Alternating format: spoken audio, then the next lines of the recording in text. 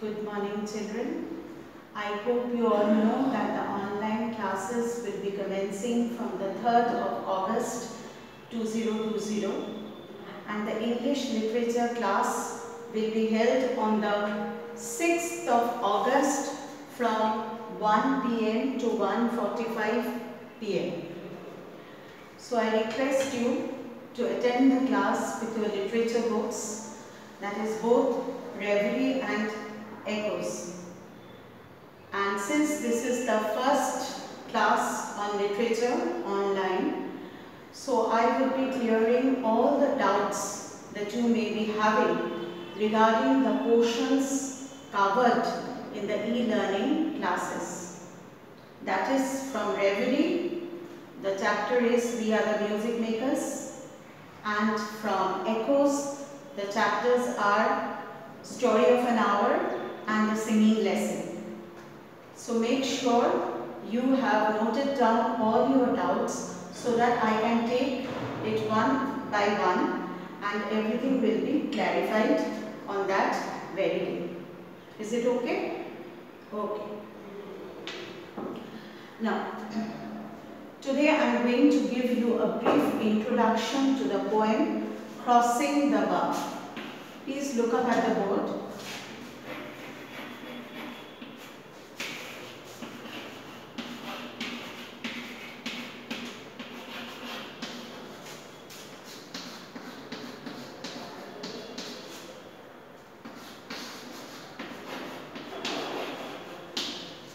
Crossing the Bar, written by the poet Lord Tennyson.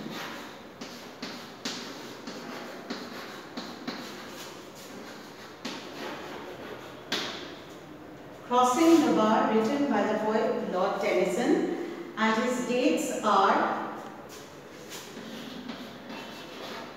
1809 to 1892.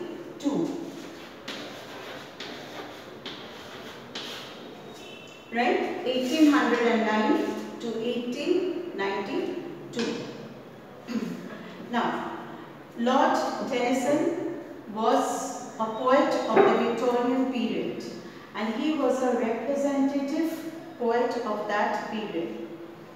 He also got the title of he was honored with the title of poet laureate after william wordsworth. Now a bit regarding the Victorian period. You see, it was marked by invention, industrialization, exploring new horizons, and most important, it was during this period that the theory of evolution by Darwin was put forward. Now this gave a big jerk to sensitive minds like that of Tennyson and even you will find later to Matthew Arnold. Right? They became really very much disturbed, agitated because their spiritual faith was totally shaken. Now coming to the poem Crossing the Bar.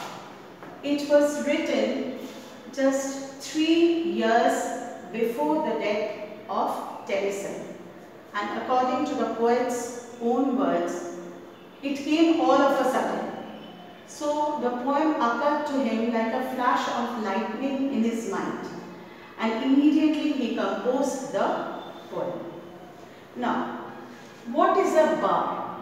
Bar is a sandy ridge on the water of the ocean or sea just in front of the shore and the ships have to cross the bar in order to venture out into the sea. Okay? Now, this becomes more easy and comfortable when the tide is high. Then the journey of the ship, the voyage of the ship is much more easy. In the same way, when we complete our life on earth, we have to cross the bar and enter into the eternal life. So you see the poem is very much symbolic by nature. once our earthly life is over, we have to cross the bar, the sandy bar, which is the life and the death demarcation, the demarcation between life and death.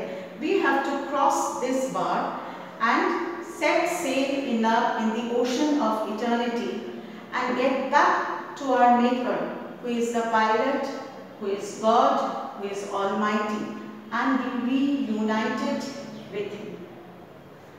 Now, Tennyson wants that at the time of his death, he wants to die in a very peaceful, tranquil and serene manner with his faith intact in his Christianity. Alright? He doesn't want any spiritual disturbance at the time of his death. So you can understand that the poem is symbolic and very much metaphorical by nature. The themes of the poem are life, death, afterlife, faith in God and this is really a very rich poem with a rich theme. Right? So I stop here today and we are going to continue with this poem. So thank you children. Have a good day.